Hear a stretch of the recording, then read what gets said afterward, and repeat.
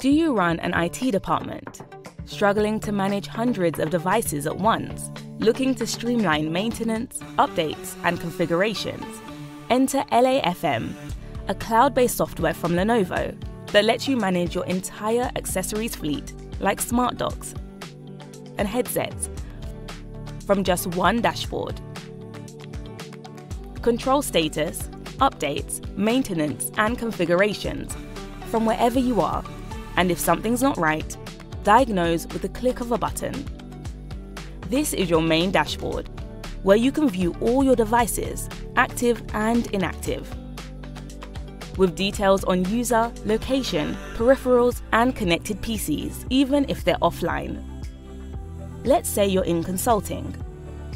Run regular updates on any number of devices or schedule them for later so you don't disturb your workflow or you're handling a security breach in finance.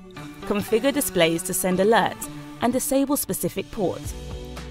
Or just mass reset and reboot every dock on the trading floor. Or maybe you're in manufacturing. Spot and solve faults faster with dedicated troubleshooting logs and remote assistance from Lenovo Service. Everything's built on AWS. That's both CSA and GDPR compliant so your data stays secure whatever the sector. So, welcome to the world of LAFM. Device management has never been so simple. Lenovo, Lenovo.